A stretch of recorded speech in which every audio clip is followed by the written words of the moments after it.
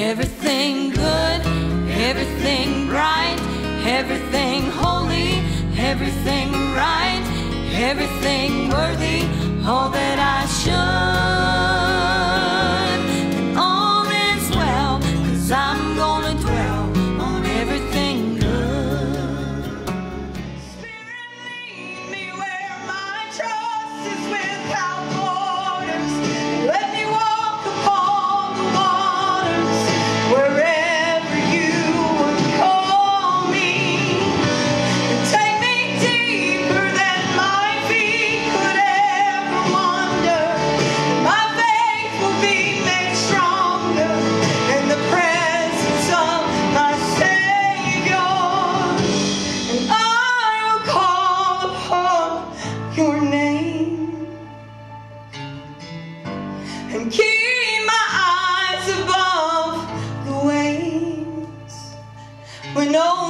Rise, my soul will rest in your embrace.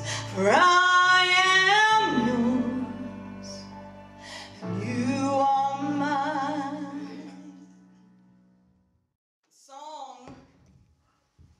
We got to realize what we're singing. Yeah. Have you ever said to the Lord, Lead me out into the deep where the waves are, where you don't know where you're going or what you're going to face? I really have to say, in my lifetime, I mean, I've faced troubles and faced situations, but there came a time in my life where I knew that God was leading me in a different direction. And sometimes we've got to walk by faith and we can't go by what we're seeing. We've got to go by what our, the Word of God says. And we've got to put our trust in Jesus Christ. Hallelujah. We've got to know that no matter what the circumstances tonight, no matter what we're facing, no matter what uh, mountain might seem to be in our path, I'm here to tell you that God is in control. Amen? We serve a God that is able to do exceedingly and abundantly above all that we could ever think or imagine. Hallelujah. God will do, hallelujah, what His Word declares to you. Sometimes we can get down in the dumps. We have days like that and we think that God's not there, but I'm here to tell you that He is with you. Praise the Lord. He is with you through every situation that we face, whatever we go through. Praise the Lord. And I want to go where the Lord is leading. See, if we go on our own path, if we go on our own direction, we're going to be in trouble. But if we say, Lord, lead me, guide me in the footsteps, Lord, in your footsteps where you want me to go. Hallelujah. Even though it might seem scary, sometimes fear might try to overtake you. But if you just keep your eyes on Jesus Christ, praise the Lord. Praise the Lord. He'll He'll see you through. Praise God. And I'm thankful for the presence of the Holy Spirit. Amen. Amen. Praise the Lord. You can turn to your Bibles to Acts. Acts chapter 4.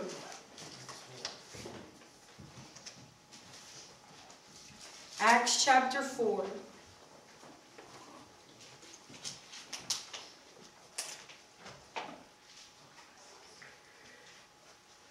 See, we've got to let that be our prayer. Just as the song says, we've got to ask God to lead us. Because, see, a lot of times we're in our own rhythm. We're not seeking the Lord and we're not saying, God, what do you want to do in my life? Am I in your will? Am I in your way? We've got to let God do a work in us that we're not just the same old person every day. But you know, God is doing a new work. Hallelujah. See, God is in the work of doing something new and fresh in our lives. Praise the Lord. I'm going to start reading at verse 23 of chapter 4 in the book of Acts. And it says, And being let go, they went to their own company and reported all that the chief priest and elders had said unto them.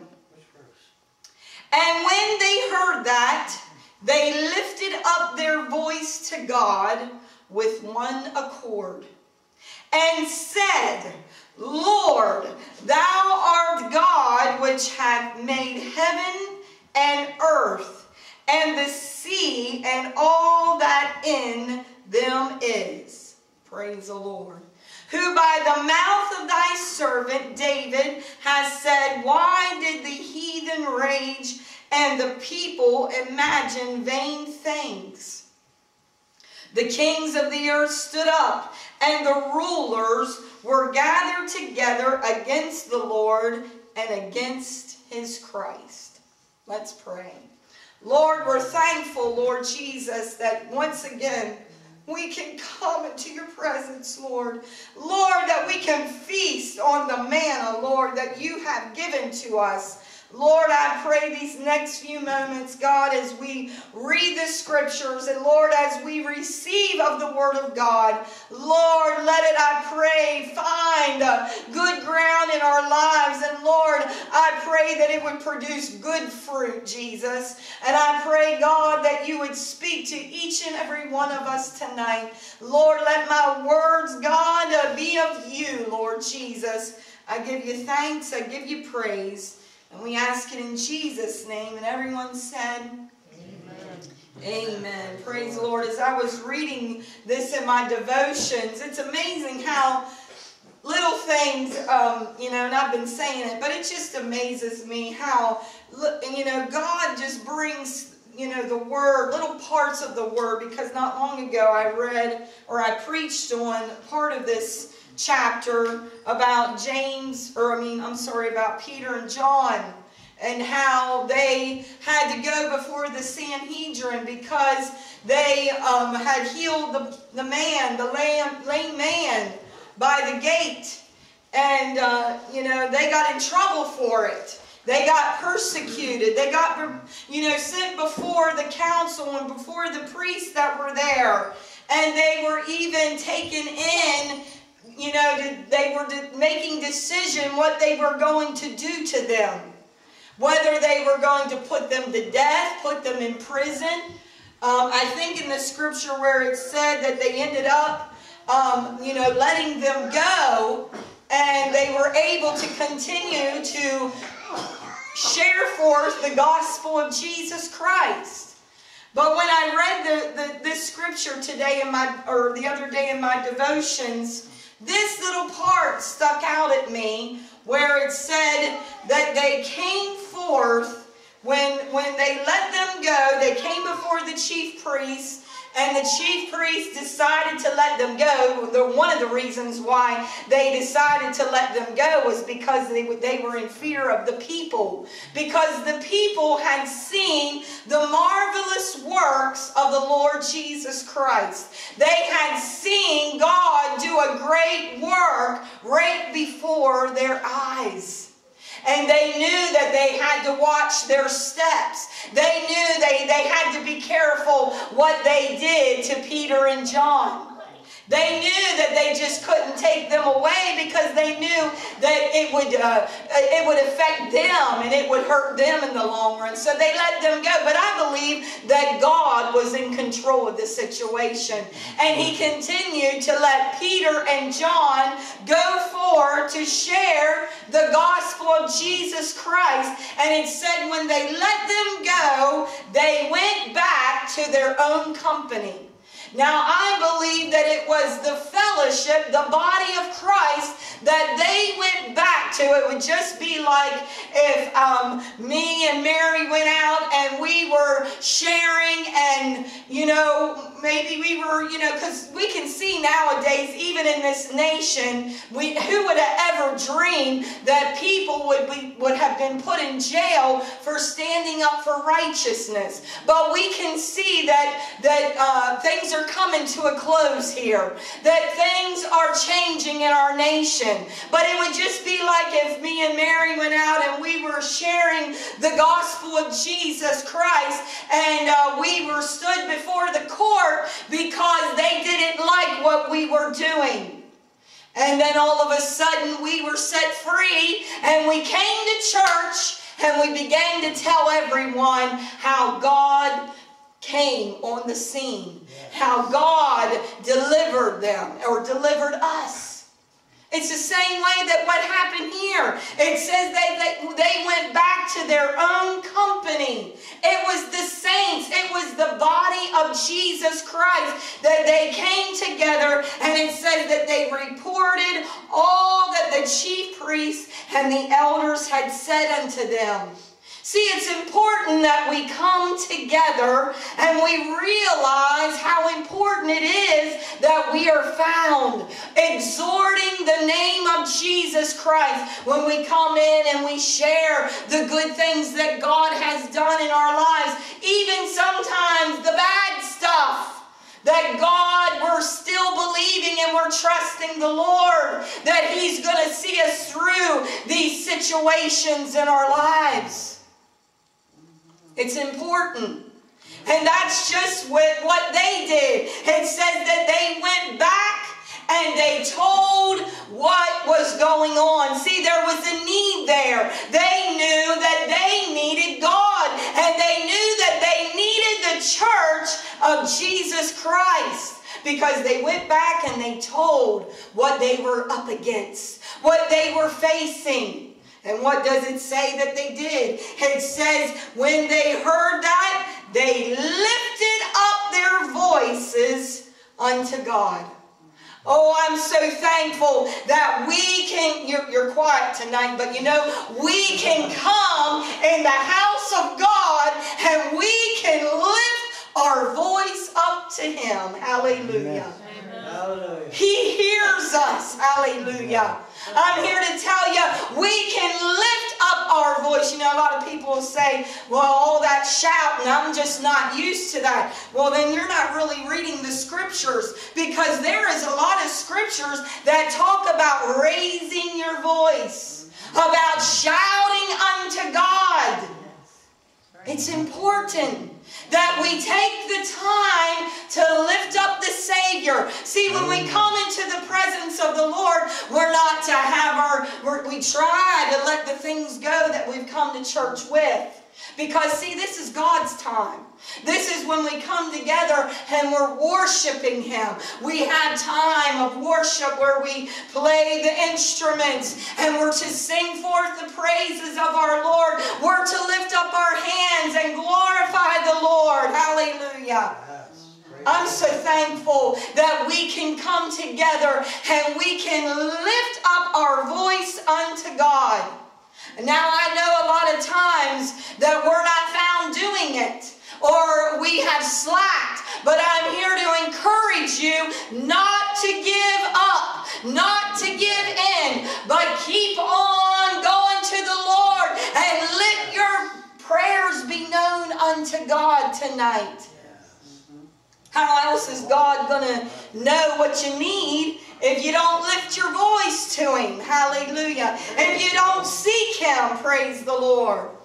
It's important. See, they came together, the saints and the fellowship. See, we've come together, though the whole place not might be packed out. We have come together in one accord, and we know that where two or three are gathered together in my name, he says, I am in the midst of them. Amen. He is here, and is here to do a mighty work in our lives. I like where it says in Philippians, I thank my God upon every remembrance of you. Always in every prayer of mine for you, all making request with joy. He didn't say he came with dread to do it. See, we've got to come and say, Oh my, I can come to the God, hallelujah, the God of Abraham, Isaac, and Jacob, the God that can do the impossible tonight. We can give it to God. We should be just overjoyed that we can come to the Lord. It made me think of. Um, over in other countries, I've watched little segments. I've never been in another country, but I've seen little segments where what they do in other countries. In some countries, um, chi- you know, this noise will go off like a big, you know, chime or a loud noise. Some some people have even said that it sounds a little eerie. And they know when that sound goes off, they're to stop what they're doing and they pray to their gods. And they are faithful at what they do. They don't miss one time. There isn't not missing. They are to do it. Stop what they're doing and start praying to their gods. And it made me realize how much more as we serving a God, hallelujah, that is alive. He is not dead, but he is risen, hallelujah. We have power and we know we don't have to dust off an idol tonight, but we serve the living God, hallelujah. We serve a God that can do anything. Oh, you know, this morning it was me and it was Nancy, it was mom. And when I come in, I, I had to, I have to admit to you, uh, I- my mind was just racing. I had a lot of things on my mind. And I had to say, now wait, I just gotta, I gotta stop. Lord, take these things out of my mind. I don't want to think about those things right now. I want to spend time praying. I want to spend time praying and seeking the Lord. And, and as I began to pray and seek the Lord, I just felt, and I, I looked around and I heard Nancy, she's kneeling down here and she's praying. And then I, I look over and I see mom and she's praying. And all of a sudden, just this wonderful presence of the Lord, I just felt it come down. And I knew that God listening. Oh, it's so wonderful to know that God hears your prayers. Hallelujah. Don't get discouraged, and I'm here to encourage you. We need you to come and to pray. Hallelujah. God wants you to bring your request known unto the Lord. We need, this church needs prayer. The only thing that's going to keep it together is if we pray and seek the Lord. Hallelujah to know that we can walk in the ways of the Lord. I'm so thankful that I can come and I can lift up my voice unto God and He hears every prayer. Praise the Lord. It says here with one accord. See, it's important that we stick close together.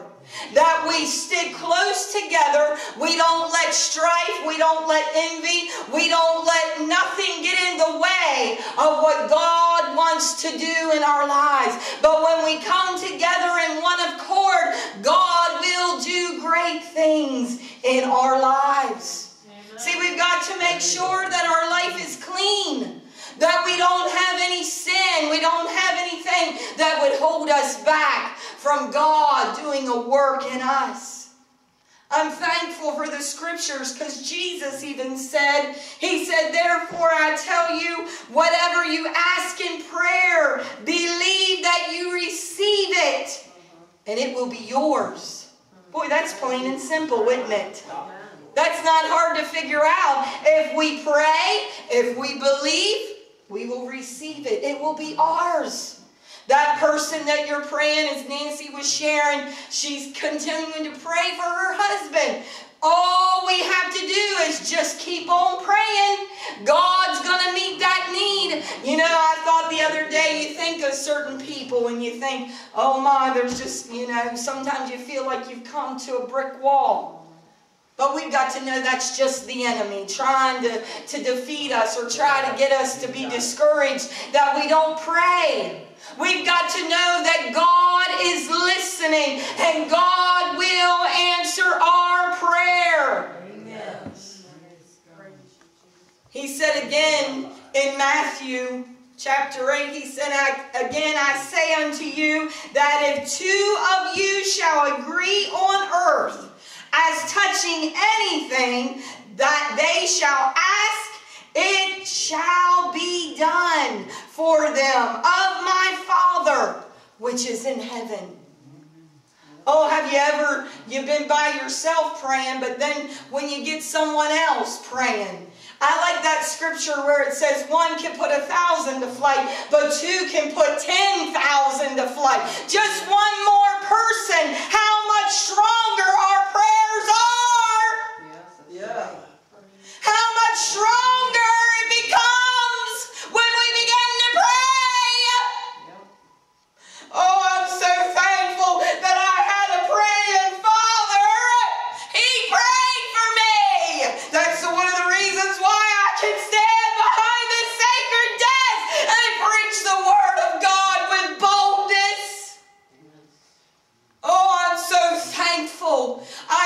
want you to get discouraged. You're still believing for your family to be saved. Keep on praying. Keep on seeking the Lord. Hallelujah. He will meet your needs. He's a God that loves you and cares for you. Amen. Oh, I'm so thankful tonight. Where it said they lifted their voices. And what did they say? It says that they said, Lord, thou art God which has made heaven. See, they were reminding the Lord, they were reminding themselves that we serve the God, hallelujah, that has made the heavens and the earth. He has formed this thing. Oh, you know, when you look out over the beautiful country, just in our area, we have a beautiful place where we live. And we think of the goodness of God. How can anyone in their right mind ever not think that there is a God? Amen. He has formed it. Hallelujah. That's why I like where it says in Psalms 102 In the beginning, you laid the foundations of the earth, and the heavens are the works of your hands. Yes. Oh, just think. See, I think we get, we're limited sometimes. We limit God. I don't want to put limitations on God. I want to keep seeking Him no matter what the circumstance. God, I said, God, no matter what the case may be. I know that you are in control. See, that's the part we've always got to focus on. He is in control. Hallelujah. But they reminded that He made the heavens and the earth and the sea. You know, I know some of you have been to the beach and you can just look out over and the, and the waters, they just go beyond. Your eye can't even go out that far. Amen. And how the water only comes up so far and then it goes back in. Oh, I'm thankful that I serve this living God. He is the God of the living tonight. Hallelujah. But we've got to know that we've got to put our trust in Him. And we've got to know that we've got to come together in fellowship and in one accord. We are the saints. We are the body of Christ. If you have turned away from your old life, you said, I've, I've given my heart to Jesus Christ. I've, I've repented of my sin. See, a lot of people, they'll say, well, and they go back to their sin. No, once you repent, you turn away from that and you don't go back. See, God will give you the power to overcome sin tonight. Amen? I've seen so many stories on television. You know, first of all, I've heard people say, well, I, I don't have that miraculous story of, uh, and I'm, I guess I'm one of those uh, people. I never went out and I never did drugs or, you know, did all that, th- all those things. I always feel like God kept me from those things. And I know that it's God. But you hear the people, and someone would say, well, that's just, that's not an exciting testimony. But really, God, to keep, well, that's why we've got to pray for our children. I say it to Matthias every day. The things that you know, one time, one decision can change your whole life. One choice that you make could change your whole life and you will never, ever, ever be able. It will. It, God's grace and mercy, He can do a lot of. He can do great and mighty things. But it, it a lot of times, see, the devil puts chains on people and he binds them up. Sin will take you farther than you want to go. And he'll definitely keep you longer than you want to stay. Oh, I'm so thankful that He saved me. Hallelujah. I might not have did those things, but I still needed a Savior. Hallelujah. I still was a wretched sinner, and I needed Jesus to save my soul. The other day, as I was in, um, I think it was Chick fil A, and this little baby in the high chair, it's amazing when you do think that we're born into sin. And that little baby, just as little as he was, he was being ornery. He was being rotten. We're born into sin. That's why Jesus came to set us free from the bondage of sin. Hallelujah. I'm thankful. And I like that scripture where it says in First John, but if we walk in the light as he is in the light, we have fellowship one with another. Oh, hallelujah. And the blood of Jesus Christ, his son, cleanses us from all sin. Oh, Isn't that wonderful? That's a wonderful scripture. We can know coming together because of what Jesus has done. We are found here in fellowship and in one accord. And then we know that the blood of Jesus Christ, his son, cleanses us from all of our sins. Hallelujah. We can walk in the goodness of our God and we can know that He is with us. Hallelujah. And He will see us through. But they said to themselves, after they had prayed, they had realized because, see, they knew that they were up against something. They knew that they were going out. You know, I was reading in Acts all the times that the apostles got themselves put in jail. And I just read the other day the one where the, the angel of the Lord come in and just got them out of there. And it, and it even said in the scripture that they didn't even realize it. Not even the guards, none of the people in the prison had even realized it was a miraculous. It was a divine move, a supernatural move of God. And it says as soon as they got out, they didn't go and hide. No, they went right back Share to share the Word of God. I want to be like that tonight. And I want to know that when I come together in one accord, when we come together in this little church house, praise the Lord, in fellowship and in unity, we can know that we have power because we serve the God of the heavens. Hallelujah. The God that created the heavens and the God that created the earth. Nothing, hallelujah, can stand in our way.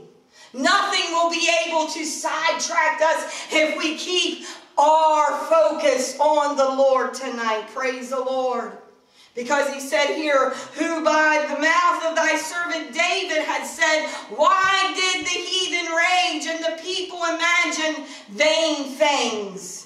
The kings of the earth stood up, and the rulers were gathered together against the Lord and against his Christ. But see, it's really been that way from the beginning. Since Jesus come into the world, what happened? I thought the other day when he was born, you know, because at first I thought of all the other things that happened to him when he was getting ready to die on the cross. But right away, as soon as he was born, Herod tried to, to get him, tried to get the wise men to, to go and, and tell him where he was.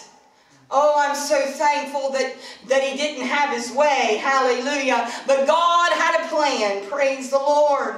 And that's why we can stand here in the presence of God and we can lift up holy hands unto our Lord and our Savior, Jesus Christ. But it's been that way from the beginning. What did they say? They said, Jesus said, if they hate me, they'll hate you. We're going to be persecuted. It's not an easy route sometimes when we make that decision and we say we're going to follow the Lord, is it? Yeah. It's not always that way because, see, people aren't going to understand what we're doing. because their eyes haven't been open to the truth. Their eyes are blinded by the, the, this world, and they need a Savior. But we have said we're going to serve the Lord and we're going to live our lives for the Lord. And even though we are persecuted and there might come things on the right side of us and on the left side of us, but we know that God is with us and He will see us through every situation. Amen? And we can put our trust in Him and know that He is with us. Praise the Lord. Everything is in His hands tonight. And we need to be encouraged that when we come together, there is power here. Amen. There is power here. Praise the Lord. No matter what the need is, no matter what your situation, whether you think your life is a mess and there's no way that it can be fixed, I'm here to tell you you're in the right place because God can touch you and He can set you free and He can heal you and deliver you and give you just what you need. Can you say amen tonight? Amen. Amen. Praise the Lord. Let's stand in His presence.